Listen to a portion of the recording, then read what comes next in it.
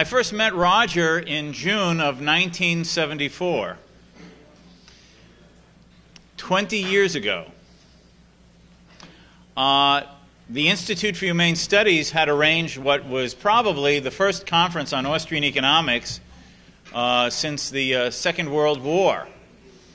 And one, the first evening, a group of people were sitting around talking about Austrian economics, and I believe in the circle was uh, Murray Rothbard and a few other people. And I was uh, somewhat brash and young, impetuous, and uh, not always careful in uh, watching my tongue. And uh, someone had asked me, Have you seen this, this monograph that uh, this fellow Roger Garrison has done on Austrian macroeconomics? And I said, Yes, yes, I've seen this paper. It's terrible, it's terrible, it's terrible. He's trying to build this macro model of Austrian economics. He doesn't understand you, you can't do this. this. This fellow doesn't understand what Austrian economics is about at all. And I turn to this fellow sitting next to me and I say, Well, what do you think of it? And he calmly says, I'm Roger Garrison. but in spite of that, uh, Roger and I have known each other now for what, 20 years, run into each other periodically at conferences.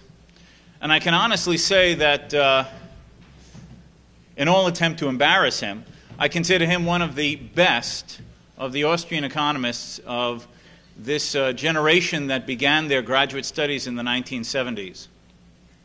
His works on Austrian monetary theory, capital theory, business cycle theory, Austrian approaches to understanding uh, unemployment as a government caused monetary phenomena are not only original, but have added to and enriched the understanding of the Austrian point of view in many ways.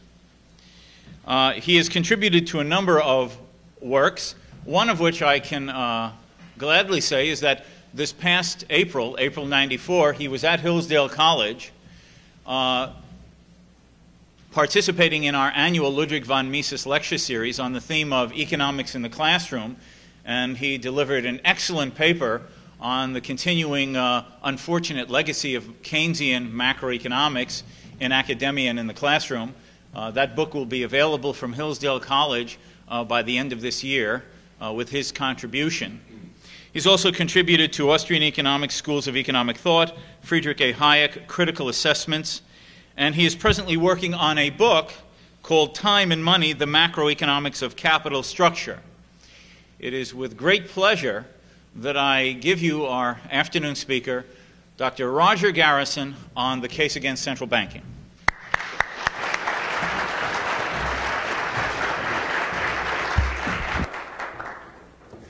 Okay, thank you, Richard. Uh, first thing I have to do is try to dig myself out of the hole that was created by Doug Casey. Uh, he mentioned to you at noon that uh, people who, who actually have a degree in economics don't know any. Uh, now, I could stand up here and try to defend my profession, defend the economics profession as a whole, but uh, oh, that would be too big a task. I won't try that. But I will point out instead that uh, my undergraduate degree is in electrical engineering. Okay? and uh, so that will give me a, at least as much insight into economics as Casey's physicist might have had. Okay? And in fact, uh, the engineering degree is what underlay the macroeconomic model uh, that Richard Ebeling had uh, just mentioned. The topic for this afternoon is uh, the central bank, the case against the central bank.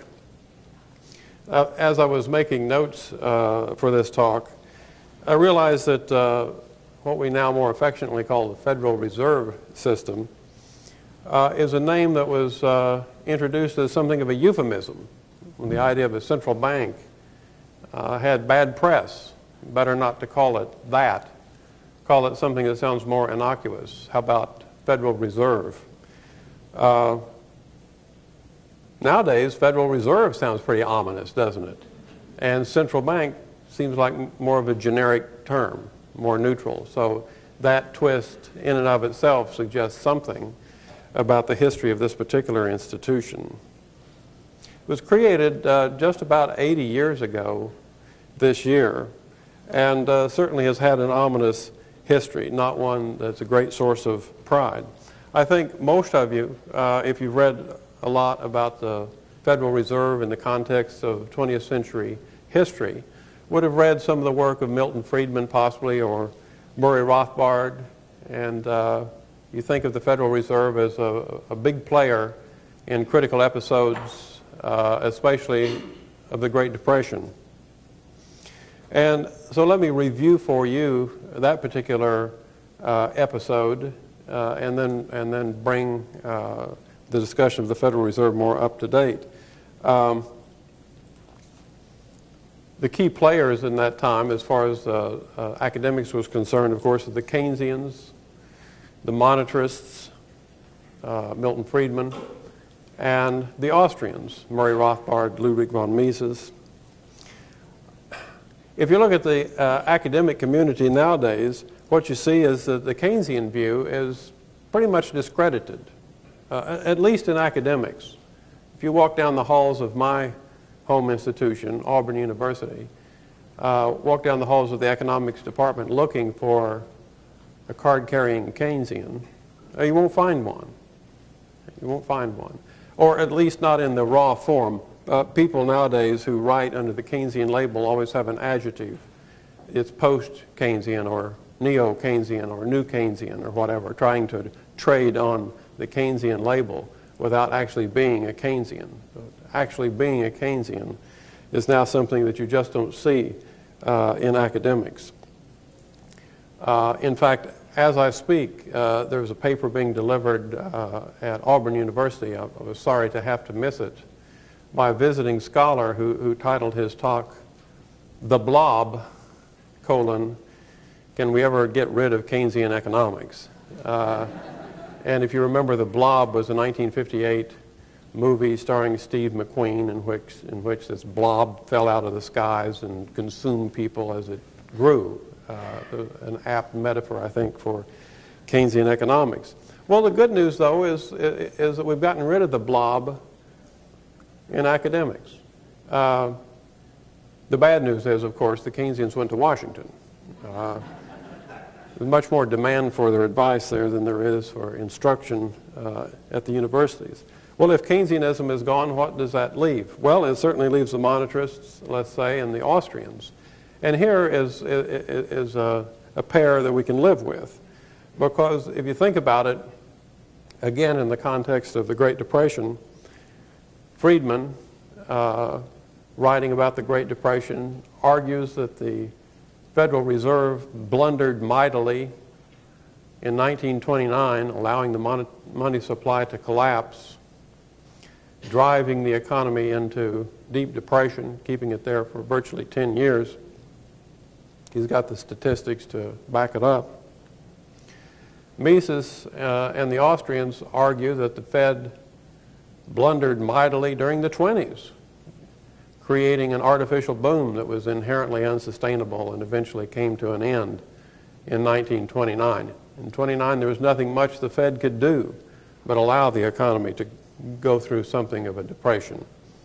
By allowing the money supply to collapse, it made the depression even worse than it otherwise would have been. So you see here, academic debate centers on just how it was that the Fed blundered.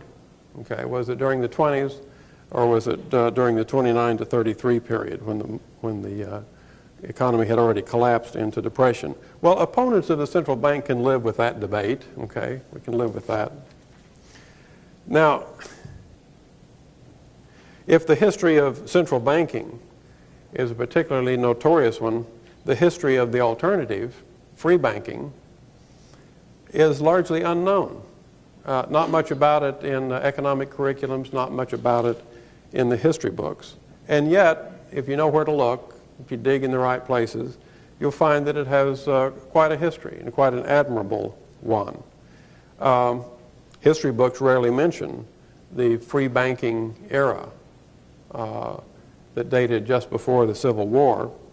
Uh, and yet it was a particularly prosperous period and, and a period in which the banking institutions functioned quite well.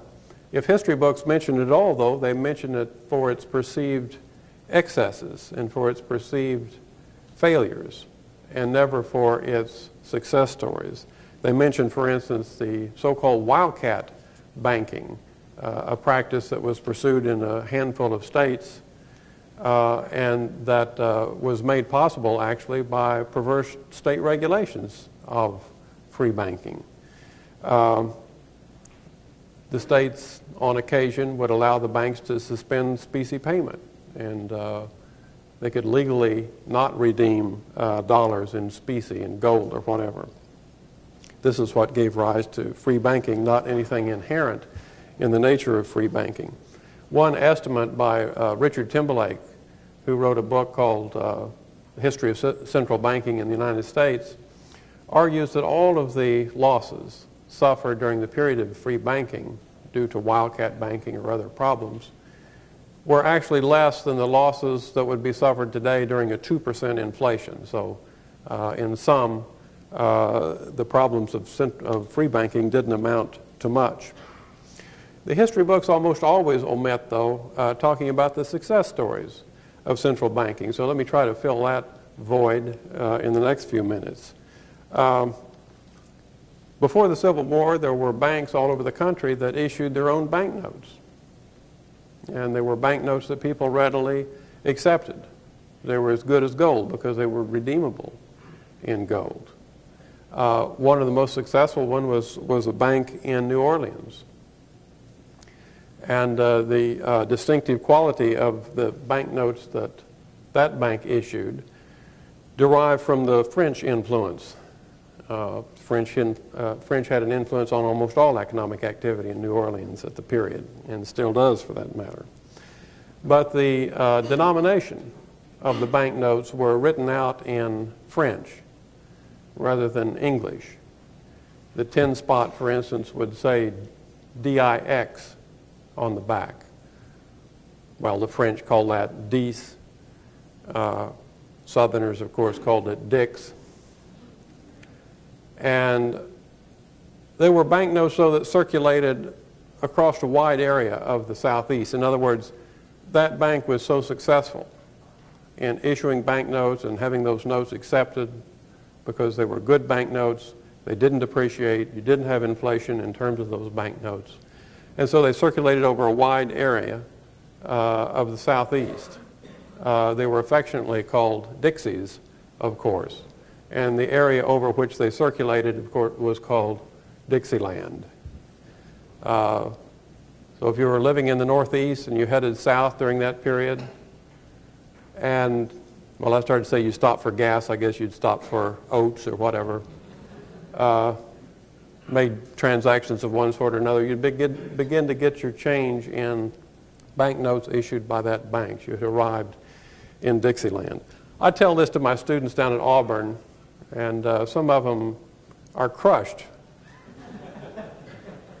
by this particular tale of the origin of that name. Uh, they think somehow that that takes the romanticism out of Dixieland. But uh, it certainly doesn't for me. I mean, money has a special place in my heart. and knowing that as the origin, I think, is something special. Um, I might mention, though, that it's hard to get this out of a history book. It's hard to get it out of a history book. Uh, they simply don't mention it. And uh, one place you can get it is a good dictionary. Look up uh, Dixie in a good dictionary, and it will explain to you what the origins of the term is. To include that in the history book would require them to give an account of the success uh, of that particular instance of free banking. Well, why wasn't the success continued? Well, of course, it turns out during the Civil War, both in the North and South, there were all sorts of actions to put those uh, banknotes to rest. After all, if uh, competitors were out there issuing banknotes whose value didn't depreciate, then the government, either on the North or the South, would be hard pressed to issue its own money and pay for the war effort and get people to accept those banknotes. Right? So in the North, for instance, there was uh, a 10% tax in the 1860s levied, levied against the issue of all private banknotes. And the uh, free banking was effectively taxed out of existence. So it wasn't done in by itself, but rather by the government who was trying to make room for its own greenbacks uh, as a way of uh, financing uh, the Civil War. Now, In today's talk, uh, I'm going to come down pretty strong in favor of free banking. In fact, I see that as the alternative to central banking. Uh, I understand that tomorrow there'll be a talk given by Mark Skousen uh, entitled Restoring Sound Money. And if I know Mark, he might have something to say about gold. Uh, he has some good things to say about gold. Uh, the talk I'm giving is not at all at odds with that. In fact, uh, quite to the contrary. That uh, if you have competitive banking, if you have individual banks each free to issue their own banknotes, then if they want those banknotes to be accepted by the public, they'd better anchor them in something real. Historically, of course, that thing has been gold, and that was the experience largely of the free banking era. Now, I want to turn now to the comparison of central banking and free banking, first on a fairly general basis, and then I want to relate it specifically to some of the things that have been going on lately. And I think I can link it up in ways that uh, dovetail fairly nicely with uh, Doug Casey's talk uh, over lunch. One of the basic problems with central banking is it has about a half a dozen different goals. It's trying to do about a half a dozen different things, only one of which is to maintain sound money, supposedly. All of the other goals tend to get in its way and cause it to do a worse job of maintaining sound money than it otherwise would do. Uh, and, uh, let me list some of these things that it has to do. You can just has a half a dozen different things to do, but it only has one policy tool to do them with. It controls one and only one thing, and that's the supply of money. It can increase it, decrease it, or hold the line. That's it. That's all it's got to do.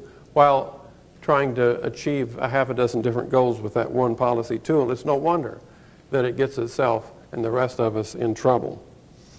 Uh, I'll even list as the first policy goal, which at least I think should be paramount among them, probably the only policy goal, is to maintain some sort of monetary stability. And for a central bank, about the best it could do, if it actually tried to do this and this alone, would be to maintain uh, stable prices. Just hold the line on prices. Uh, if prices uh, uh are rising, then it's creating too much money. Okay. Uh, if prices are falling, it probably thinks it's not creating enough money. Well, that's the way central banks operate. Uh, still, if it created just the amount of money that would give us stable prices, that's probably the best that uh, the central bank could do. Now, to explain just how uh, the bank does this, uh, actually, if I were in a classroom, uh, this is the point where I'd turn around and write an equation on the board, the familiar equation of exchange, MV equals PQ, which just shows that the price level in the economy depends first and foremost on the amount of money that the bank creates.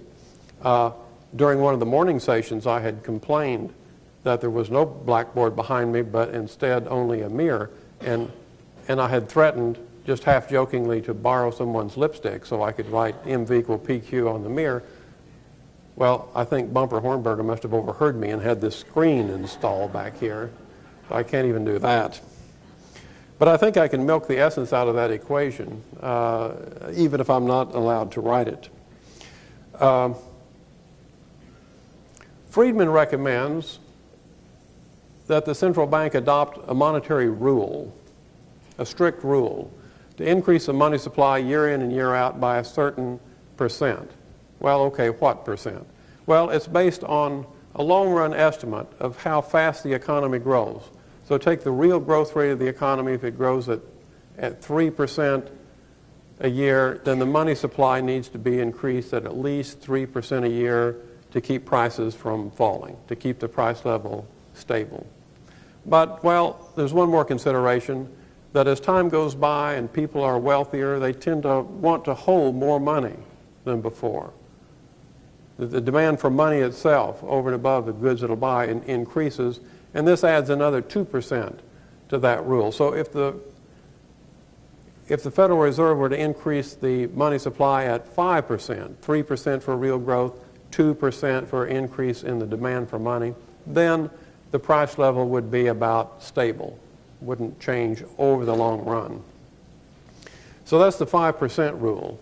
Uh, now, even this can be modified, and some monetarists would suggest that it, that it need be, because deflation is typically viewed as more onerous than inflation. The ingrained beliefs about prices being sticky downwards and beliefs that the resulting unemployment is worse for society than, than the inflation uh, that uh, would happen with an increasing money supply causes some monetarists to suggest that the rule should be something in excess of 5%. In other words, a mild inflation is protection against any actual deflation that would be disruptive in the economy. So what we're seeing here is that uh, a central bank operating even at its best, even, even at its most ideal state, uh, would increase the money supply possibly 5%, possibly a little more. Inflation would be uh, mild uh, and that's the best it could do. Now, it turns out it doesn't do that well, never has, and in my guess it never will. For it to adopt a monetary rule would essentially be for it to forsake all the power that it actually has. Isn't that right? I mean, after all, Time magazine, Newsweek, a number of others have featured the chairman of the Board of Governors of the Federal Reserve Bank on their cover. And I remember one particular issue uh, had the caption, the second most powerful man in the United States. Okay? And it was the chairman of the Board of Governors of the Federal Reserve System. Well, of course, if he was bound by a strict monetary rule, he wouldn't be the number two man. He'd be down there below where you and I are. okay? So the very fact that the Federal Reserve Bank is perceived as having the power that it undoubtedly has is evidence enough that it's not about to adopt uh, such a rule, uh, however helpful that would be for us if it did. Now, maintaining monetary stability or price level stability is only one of the goals of the central bank. It has a number of others. And each of those others get in the way of its maintaining stability. In fact, as we'll see later, some of those other rules get in the way of one another and create a tremendous amount of instability in the economy that could easily eventually uh, do the economy in. Uh, so, what are these other goals that it has? Well, one goal that's increasingly important as time goes by is to accommodate the Treasury. Accommodate the Treasury. That simply means that the Federal Reserve is one of the buyers of Treasury bills.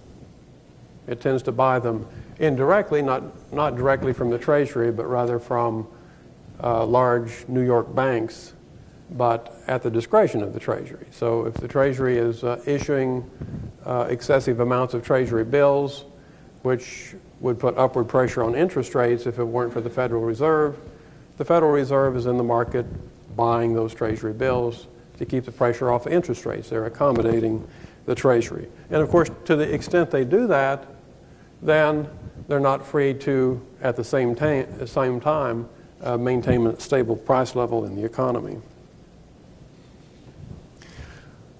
Another goal of the central bank is to stimulate the economy, or in uh, modern terms, I guess we'd say to grow the economy.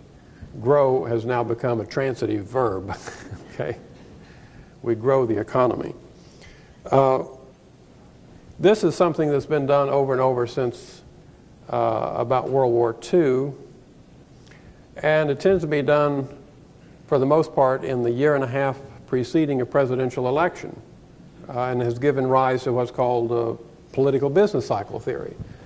That administrations tend to uh, increase the rate of monetary expansion going into the election, uh, growing the economy, or I like to use a more colorful term, goosing up the economy uh, to ride through the election and then deal with the inflation and aftermath of the monetary stimulant following the election.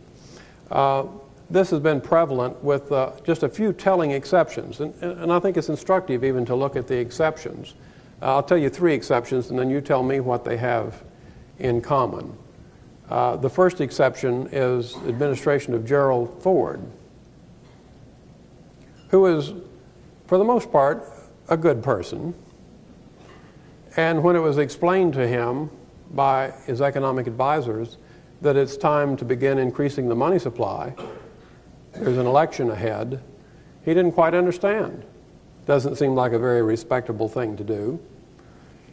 If that's what it takes to get elected, I don't know that uh, we need to do that.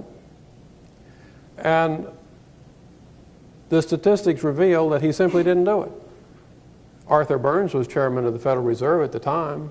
He had uh, cooperated fully with Nixon in 72 to help him win that election by stimulating the economy. He was still in place going into the 76 election, but there was no monetary stimulant. There was no goosing up the economy before the election. Gerald Ford didn't play the game. Now, following the election of Jimmy Carter, we got something quite different. In fact, if uh, any of you remember when Carter was in Plains, Georgia, after the election and before the inauguration, he announced to the press a number of times that his administration was going to hit the ground running. And in monetary terms, this translates into hit the ground printing, okay? As indeed he did. So, what happened during the Carter administration, in effect, is that he played the game, but he started too early. He started way too early. Because if you start increasing the money supply at the beginning of your administration, then you get all of the negative effects well before the next election. Oh, you get the stimulant, but it's only in the first two years. After that, you get inflation, stagflation, the misery index, which uh, was of Carter's own making. But of course, Carter was beat over the head with it by Reagan in 1980. So all of the negative results of that monetary stimulus were being felt in 1980, and Reagan won that election. Now, the third exception is George Bush. George Bush played the game, but he started too late. Okay, you see, Bush had achieved victory in the Persian Gulf in January of 91 and imagined at the time that this would be enough to see him through the next election. Tried desperately to keep the Persian Gulf War, the victory, fresh in the minds of the voters through November of 92. Well, that was just too long a period from early 91 to late 92. And he began to see, but only too late, that he needed something more. By August or so of 92, he realized that he needed a kicker. And of course, the standard kicker is monetary stimulation. And this is then when the Federal Reserve began to cooperate and increase the money supply in a last minute, well, turns out too late effort uh, to help Bush out. Oh, we got the monetary stimulant, but it came in February and March.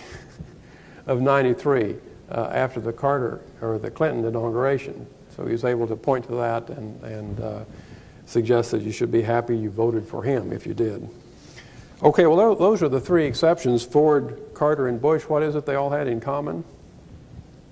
They lost. okay. so administrations that tend to win elections uh, tend to do it with the help of some monetary stimulation. And you can imagine monetary stimulation from the central bank uh, on this kind of a basis. It's sort of a, a, push on the accelerator to get you through the next election, push on the brakes to deal with the inflation that follows.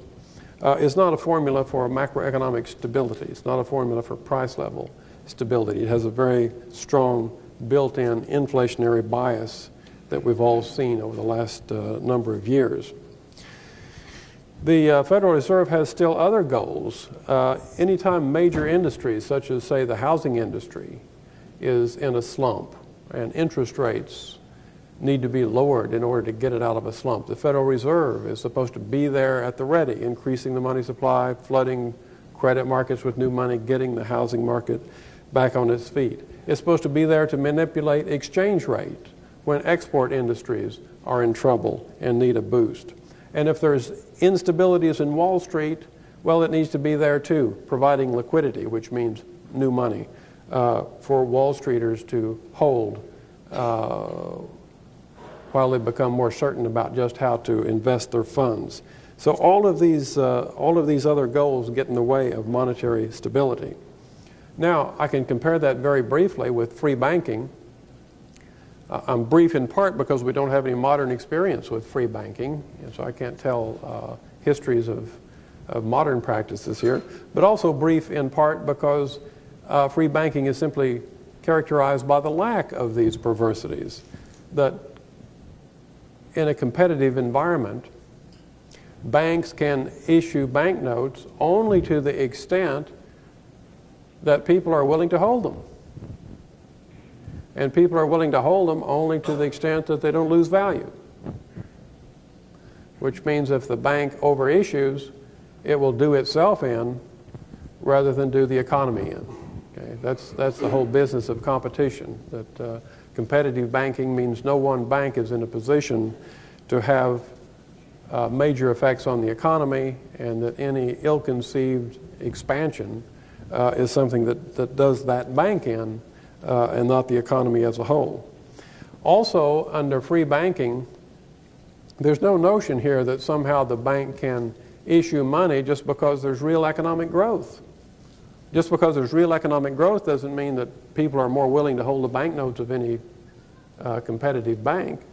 And so, again, I need the blackboard, but real economic growth simply puts downward pressure on prices but those pressures are felt in the very points where the growth occurs, and that in itself doesn't uh, uh, provide any hardships to the economy. Quite to the contrary. The falling prices where, where growth occurs makes it uh, more possible for working people, and all people for that matter, matter uh, to buy that real output more cheaply. So under free banking, you would actually get a gradual deflation, a gradual downward trend in prices. There's no inflationary bias at all, quite to the contrary, a mild deflation, but one that is not at all harmful to the economy. Now, uh, I want to apply these remarks about central banking to the current situation. And by current, I mean the economy as it's functioning under uh, deficit finance. I think deficit finance is sort of the big story of the last several years. When the macroeconomic history comes to be written of this period, uh, deficit finance will loom large on every page. And just to focus your attention, uh, let me pick up on a, uh, a, practice that we see on one of the modern news magazine shows. They have something called Timeline. You watch that? And I'll name a few events and you tell me what year uh, these events occurred. There's some people in the audience uh, of sufficient age to remember them well. Uh, Chevrolet introduced a new personal luxury car called the Monte Carlo. Dwight Eisenhower was laid to rest. It was the first year of men walking on the moon. And it was the last year the federal government was in balance. Last year the, the budget was balanced. You're right, 1969, 25 years ago, was the last time that we had a balanced budget in this economy. The imbalances and dramatic and chronic imbalances of recent years uh, is taking its toll now and will take more later, as Doug Casey suggested uh, during the luncheon talk.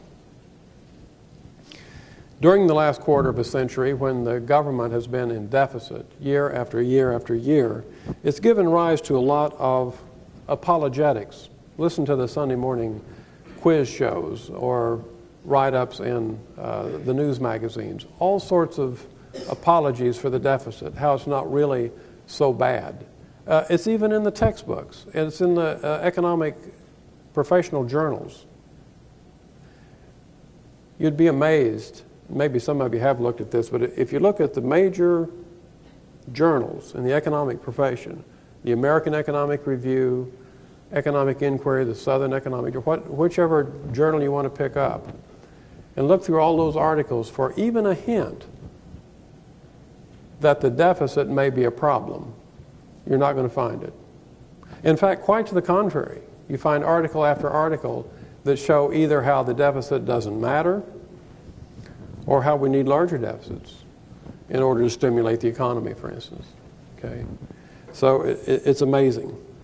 Uh, one of the one part of the story when the macroeconomic history of this period comes to be written is how the economics profession missed the boat. Okay, why, why didn't they pick up on this? Um, one of the key phrases that you'll see in uh, treatments of the deficit, usually an, an early section in a paper or early chapter in a book, and it's let's put the government deficit in perspective. Okay? When you read that, watch out. Okay? Watch out. Because that line ranks right up there along with one size fits all. And of course, I'll respect you in the morning. Okay? So and, and typically, these uh, apologetics simply describe the deficit as a percentage of something. And of course, the bigger thing you put in the denominator, the smaller the deficit looks. Uh, deficit as compared to gross national product. Well, what's a gross national product? If you remember your EC 101, it's essentially everything, okay? So uh, almost anything, including the government deficit, looks fairly small compared with everything. One of my favorite politicians, Everett Dirksen, long since deceased now from Illinois, used to say that the major function of the GNP statistic was to make anything else look small by comparison because everybody's spending program was stated as a percentage of GNP. Uh, sometimes the deficit is uh, expressed as a percentage of the total outstanding debt. If you stop to think about that, you, it does make you worry. Well, this huge deficit we're, we're, we're, running up this year is not all that large in comparison with the total accumulation of all the debt we've. Yeah, that, that, number is, that number is getting smaller, but that's a cause for concern right there. Or sometimes they say, well, uh, the U.S. deficit isn't all that large compared to the deficits of other Western countries or compared to private borrowing. All right? Well, actually, that makes you feel uh, more uneasy too because if there are all these demands for lendable funds by our government, other governments, and the rest of us, puts a lot of pressure on the supply, doesn't it? In fact, if there's one ratio that's the one to use, you don't see it used in all the apologetics, but how about the government deficit as a percentage of saving? Because that's what's borrowed, isn't it? The government is borrowing our savings. And savings is small and getting smaller, while the deficit is large and getting bigger. So that suggests that the deficit is getting out of hand. If you look at recent figures, you see that uh, the U.S. government is borrowing the equivalent of about 75% of total personal savings. Now, it doesn't literally borrow all of your savings because it goes abroad and borrows them from Japan and Germany and others. But that puts the deficit in perspective. Now, uh, once we see this huge deficit looming large over the economy, then all of a sudden this puts the central bank in, in a new role. And one that is lost, I think, on, even on most macroeconomists. They haven't yet caught on to this, but I think it's important to think about. Because the central bank is a key player in the Treasury borrowing all that money. And not just because of the particular amount that the Fed itself buys. Oh, the Fed still accommodates the Treasury, the Fed still borrows some of those Treasury issues. But if you look at the statistics, that's not the number that jumps off the chart, okay? You think, well, it's always done that. What it does, and I think this is much more important, is it functions in a standby capacity. All right? Ask yourself this why is it that there's no default risk premium on Treasury bills? Okay? Why is it Treasury bills are considered safe? And you all know this if you're thinking about your personal investment decisions. You think, well, do I want to risk my wealth and buy puts and calls and options or stocks and bonds or whatever? Or am I too scared to do that and instead will put my money in treasury bills or money market funds that buy large quantities of treasury bills? So you see treasury bills as being risk free. Are they? Are they really risk free? Well, they are to the person that bought them. But at the same time, they create tremendous amounts of risks for the rest of the economy. Okay? The reason they're risk free to the people that buy them is because the Fed is there standing by to monetize if it needs to. Okay? So, in, in its capacity uh, as potential debt monetizer, it's, it's giving the Treasury a much longer leash than it would otherwise have. It's allowing the Treasury to borrow much more excessively than it otherwise could. You know that corporations that get overextended face penalty rates and have to get their house in order. Even municipalities, Cleveland or New York and others, who have pushed fiscal excesses beyond belief, have had to get their house in order because there's a default risk premium on those securities. But that's the premium that will never attach itself to Treasury bills, and precisely because the Fed is there standing by. Its very existence keeps those Treasury bills default risk free. Actually, there's, a, there's an eminent scholar at Auburn who argues that the government ought to run higher deficits. And the reason he gives is because Treasury securities are riskless, and this economy needs more riskless securities, what with all the other risks there are out there in the economy. Okay? And that's why he's an eminent scholar, and I'm not, I guess. I don't know. But uh, if any of you know the economic jargon, uh, I, I, like to say that uh, the function of the Fed in this capacity is to externalize the risk. Okay, in other words, uh, the risk that that otherwise would attach itself to the Treasury bills because of the Treasuries being so overextended, instead shows up in the financial sector. Okay? It gets cut off from the Treasury bills and it makes investing in other securities even more risky. Well, let me show you just how. Uh, we're certain that the Treasury somehow or other needs to get that deficit accommodated year in, year out. It has to find ready lenders somehow, somewhere. Most of this debt, of course, is very short term debt, so it's out there looking all the time. We're certain that it has to get it accommodated somehow, but we're not at all sure about just how.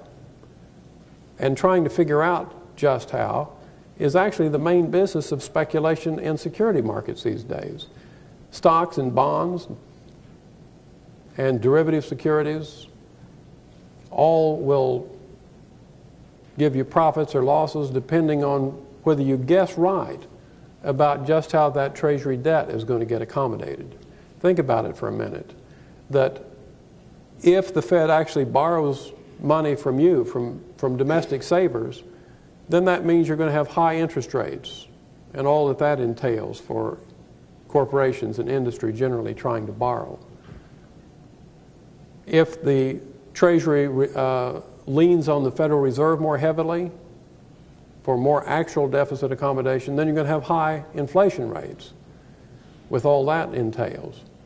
If the Treasury is able to continue borrowing abroad from, from Germany and from Japan, then you're going to have weak export markets. As our trading partners lend funds to the government rather than buy our exports. Okay? So the Treasury action has an enormous effect, a first order effect, uh, on the profitability of different securities that you could buy in, in, on Wall Street. So here comes the Federal Reserve in, in still a different capacity that I haven't even mentioned yet, and that is that uh, the Federal Reserve is called upon to supply liquidity to Wall Street whenever there is a significant downturn. They've, I think in recent times they've come to be called the mini crashes, like in 87 or 89, and, and some even since. All right? And here the Fed is pretty much pitted against itself and uh, has a tremendous credibility problem.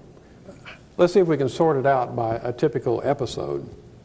Suppose, for instance, that the White House and the Treasury leans on the Fed a little more heavily, saying we need more deficit accommodation.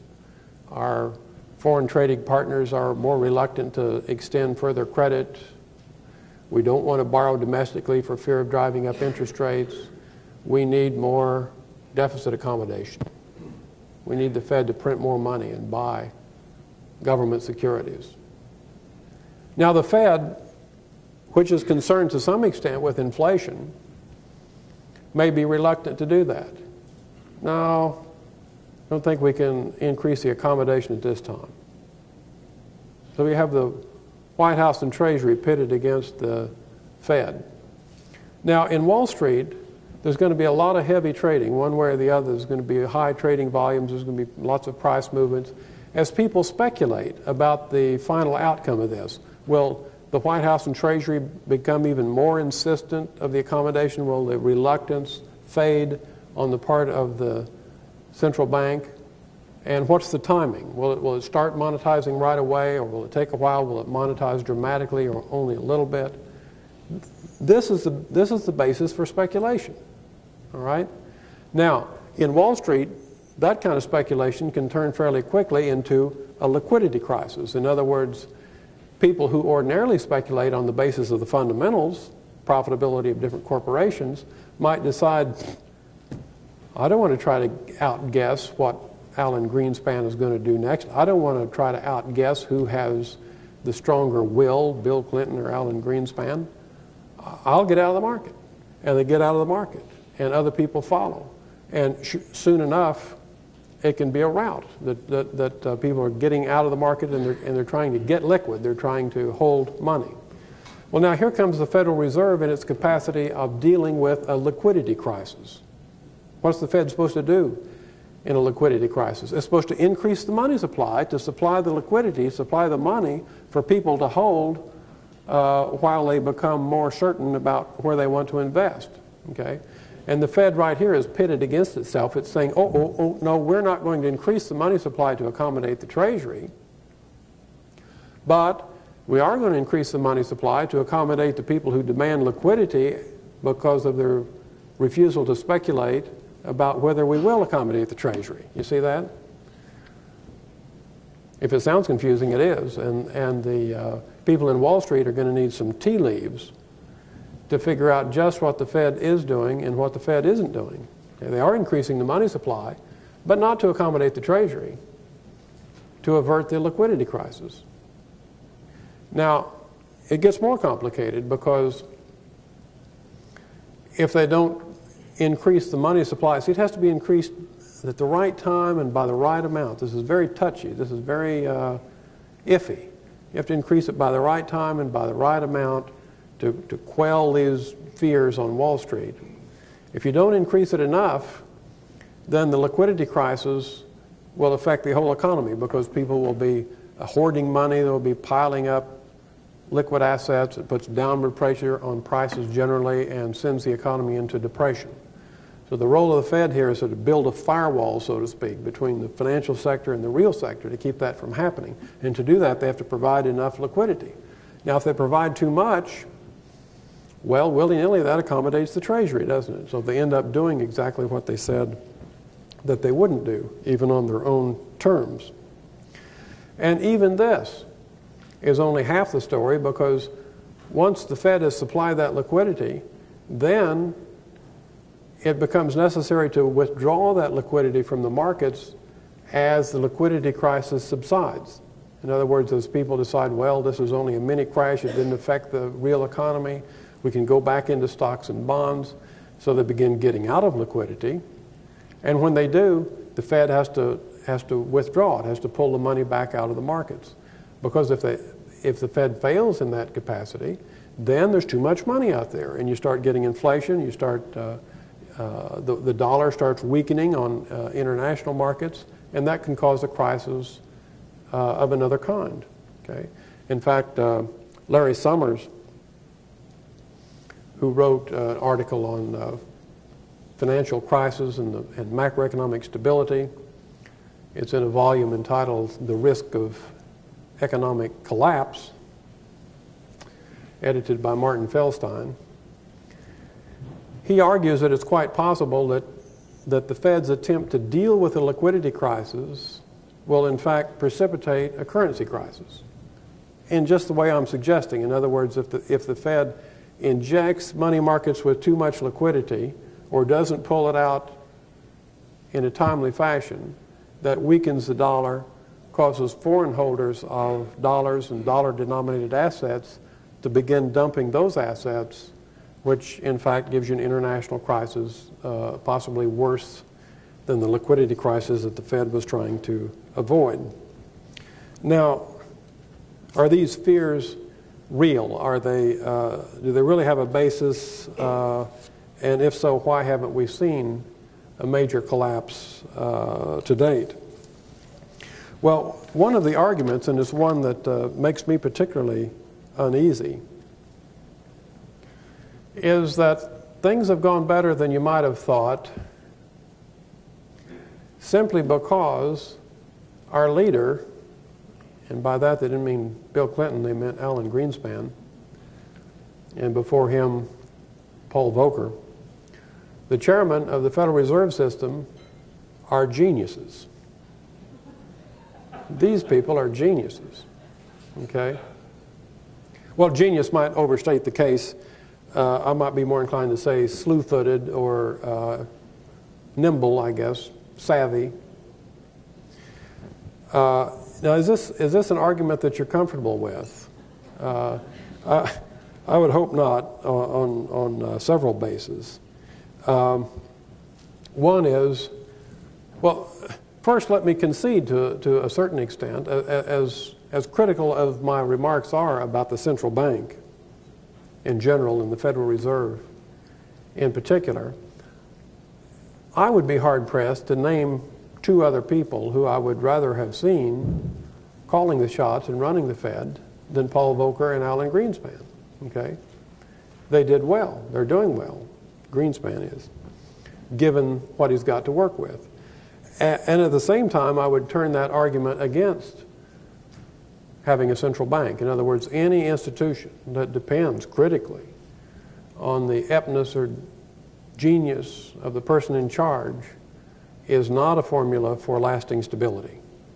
All right? You need a set of institutions that work uh, independent of that kind of leadership. Uh, free banking would do the trick. Even geniuses can fail. And besides that, uh, as Summers points out, it may well be that in a crisis in our future, there won't be any room for geniuses to be for genius to be exercised. In other words, it's quite possible that the liquidity required to stave off a liquidity crisis is more than enough to trigger a currency crisis. In which case, genius or not, the firewall comes down and the mini crash burns into the real sector. Further, while it's true that uh, Volcker and then Greenspan have managed to deal with liquidity crises, seemingly one after the other, it's awfully hard to maintain a flawless winning streak. Okay? It's not enough that they're a genius in this episode or the next or the one after that. They have to be a genius all the time. And winning streaks are not easy to maintain. I say that coming from Auburn University, where the Auburn Tigers, by the way, are 18 and 0. But even they will lose eventually. And even Greenspan or his successor will lose eventually. In fact, uh, you could almost argue that success will breed failure in the sense that the belief that Greenspan is a genius or the belief that the Federal Reserve is there at the ready to maintain the firewall and to keep a mini crash from turning into a rout in the economy has caused investors to maintain lower levels of liquidity generally. Okay? If you listen to your financial news on TV or just or, in the uh, local papers, uh, it's now almost a, a presumption that there's no relationship between the financial sector and the real sector. They're two different things. And oh, those mini crashes, yeah, well, that's just something that happens on Wall Street. It doesn't affect the real economy. It doesn't? Well, it doesn't if Alan Greenspan is there to do just the right thing at just the right time, or at least it will stave off dealing with the problems until sometime in the future. But the more successes he has, the more unlikely it is for success to continue. Eventually, the firewall burns down and the, the economy goes down with uh, the financial sector. Uh, there's a term in financial circles, it's called the triple witching hour.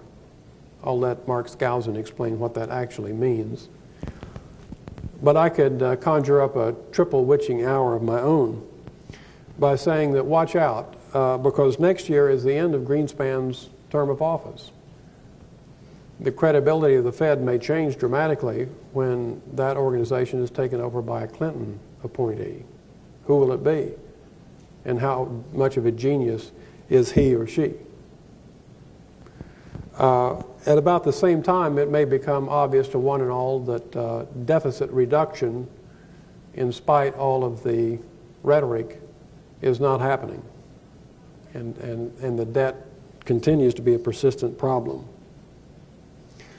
At about that same time, you may see the White House and the Treasury leaning still more heavily on the central bank.